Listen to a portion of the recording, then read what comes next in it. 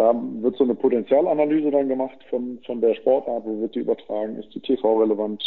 gibt es Potenzial für Sponsoren und Partner dazu äh, zu investieren. Und äh, wenn wir dann alle gemeinsam zu dem Schluss kommen, das macht irgendwie für alle Seiten Sinn. Und Sie als äh, Vertreter des Rechteinhabers sagen, ich habe dann einen Mehrwert dadurch, dass ich die Kollegen von Sport 5 mir da hinsetze, weil ich muss kein eigenes Personal bezahlen, ich muss keine äh, Material und kein, keine Büroausstattung und so weiter und so fort für, für äh, selber investieren, sondern kaufe mir diese Dienstleistung über diese Partnerschaft mit Sport 5 ein und habe aber trotzdem am Ende äh, einen sehr guten äh, monetären Output, dann äh, und wir alle zu dem Schluss kommen, dass sich das lohnt, dann würde man das machen.